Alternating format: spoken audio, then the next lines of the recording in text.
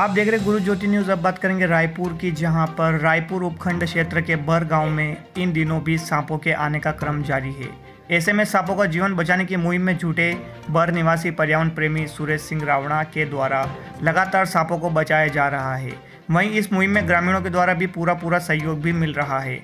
आज भी ग्राम बर में पाली रोड पर रामदेव बागड़ी के घर पर एक बिग साइज़ का कोबरा सांप देखा गया, जो घर से निकलकर पास में स्थित खेत की पाल में चूहे के बिलों में चला गया। उसके बाद पर्यावरण प्रेमी सुरेंद्र सिंह को सूचना दी गई, जिसके बाद मौके पर पहुँचे पर्यावरण प्रेमी सुरेंद्र सिंह के द्वारा करीब एक घंटे की कड़ी मशक्कत कर सांप को पकड़ा और दूर जंगल में छोड़ा गया।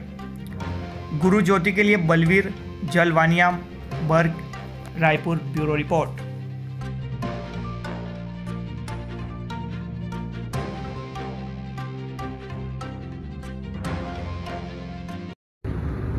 रामदेव जी बागड़ी हैं जो वेल्डिंग की दुकान है उनके पाली रोड पर बर बस स्टैंड पर वहाँ इसके घर से रेस्क्यू किया गया था।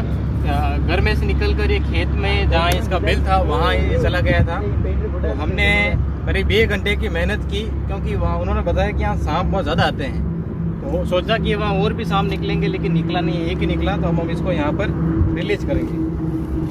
आप मुझे देखकर ऐसा प्रयास नहीं करें क्योंकि मैंने तो काफ़ी इनके बारे में शिक्षा ले रखी है और अधिकतर जो मौतें होती है वो लापरवाही की वजह से होती है। तो आप भी देखिए इसको काफ़ी बड़ा है ये भी।